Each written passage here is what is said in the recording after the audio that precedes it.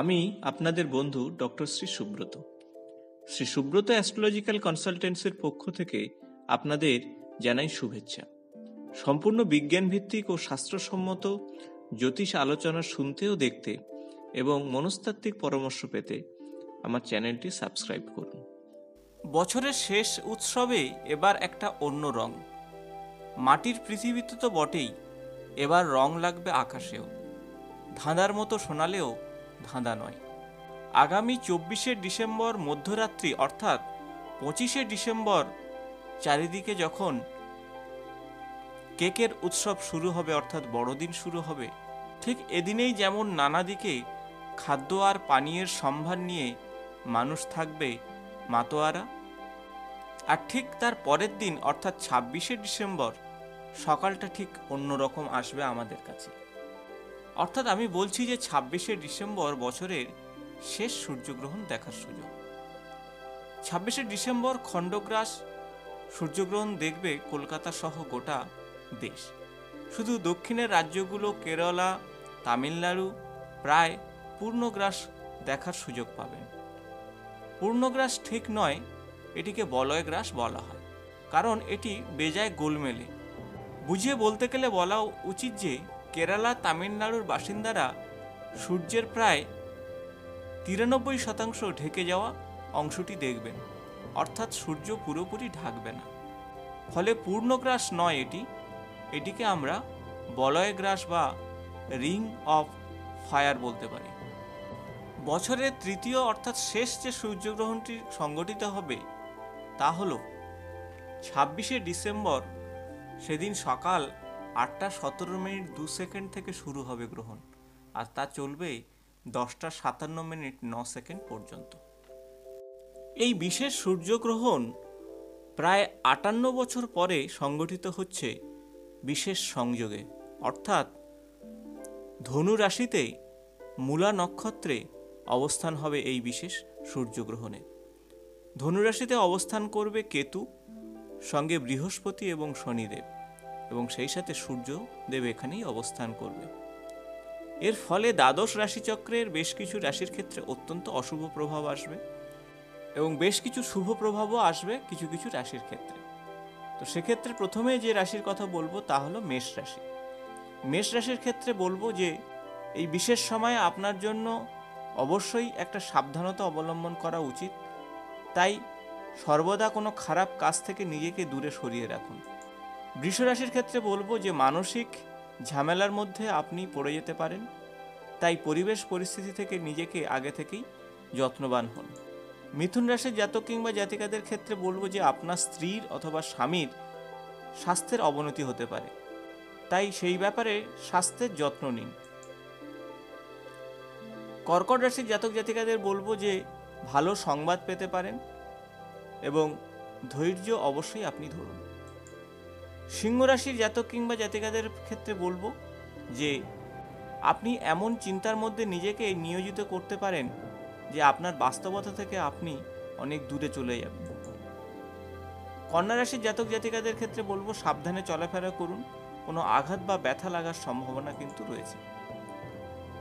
তুলারাশির জীবনে অসম্ভব শুভ ফল আসতে পারে এই বিশেষ গ্রহণে এবং তাদের অর্থনৈতিক জীবন বিশেষ উন্নতি সাধিত হবে। এখন যে রাশির কথা বলব তা হলো বৃশ্চিক রাশি। বৃশ্চিক রাশির জাতক জাতিকাদের আর্থিক ক্ষতির সম্ভাবনা দেখা যায়, অতএব অর্থ সম্পর্কিত বিষয়ে কোনো রকম গাফিলতি করবেন না। ধনুরাশির জাতক জাতিকাদের বলব যে, দুর্ভোগ হওয়ার সম্ভাবনা রয়েছে আপনার, তাই সাবধানে চলাফেরা করুন। মকর রাশির ক্ষেত্রে বলব যে, সময় নষ্ট করবেন না, চিন্তাশীল পদক্ষেপ সবসময় গ্রহণ করবেন, তাহলে জীবনে উন্নতি পাবেন। কুম্ভ রাশির জাতক জাতিকাদের ক্ষেত্রে বলব যে আপনি অসম্ভব ভালো সুবিধা পেতে পারেন এই বিশেষ গ্রহণে এবং তার ফলে আপনার মানসিক শান্তি মিলবে। মীন রাশির জাতক জাতিকাদের ক্ষেত্রে বিশেষ সুখের খবর চলে আসতে পারে। এই সুসংবাদে আপনার মন খুশি থাকবে। যে সমস্ত জাতক জাতিকাদের ক্ষেত্রে অশুভ প্রভাব চলে আসছে, সেই রাশির ক্ষেত্রে বলব যে তারা এই বিশেষ উপায়গুলি করুন। সবাই এই বিশেষ উপায়গুলি করলেও তাদের জীবনে সুখ ও সমৃদ্ধি বৃদ্ধি পাবে। এই বিশেষ উপায়ের জন্য লাগবে একটি লবঙ্গ এবং তা খুব সুন্দর লবঙ্গ যেন ভাঙাচড়া না হয়। আর এই লবঙ্গকে নিয়ে আপনি আপনার ঠাকুর ঘরে চলে যান। গুরুমন্ত্র জপ করুন এবং আপনার ইষ্টদেবকে স্মরণ করুন। তারপর সূর্যদেবের উদ্দেশ্যে এই বিশেষ মন্ত্রটি জপ করুন। ওম ঘৃণী সূর্যায় নম। ওম ঘৃণী সূর্যায় নম। এই বিশেষ মন্ত্র একুশবার পাঠ করুন। গুরুমন্ত্র এবং ইষ্টদেবকে স্মরণ করে এই বিশেষ লবঙ্গকে হাতের মধ্যে নিয়ে আপনি আপনার মনস্কামনার কথা বলুন। আর তা বলার পরে এটিকে ডান হাতে নিয়ে তারপরে ঘড়ির কাঁটার দিকে আপনার মাথার চারিদিকে সাতবার ঘোরান। আর তারপরে সেটি হাতে করে নিয়ে আপনার সামনের দিকে এনে তিনবার ফু দিন। তারপর আপনার বালিশের তলাতে সেই লবঙ্গটি রাখুন।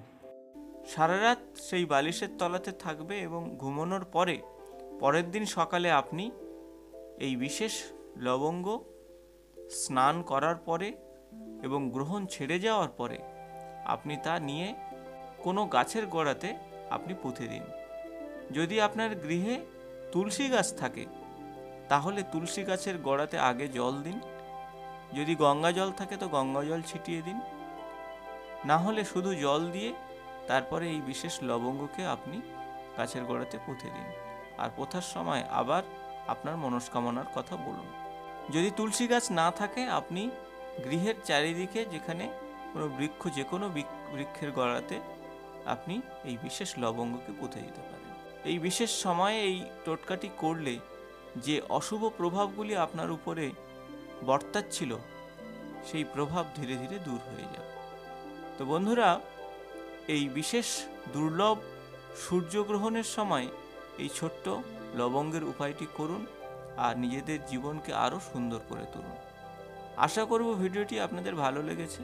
আর যদি ভালো লেগে থাকে তাহলে বন্ধুদের সঙ্গে অবশ্যই শেয়ার করুন। নিয়মিত আমার চ্যানেলের আপডেট পেতে চ্যানেলটি সাবস্ক্রাইব করে বেল বটনটি প্রেস করুন। আজ এই পর্যন্ত, নমস্কার।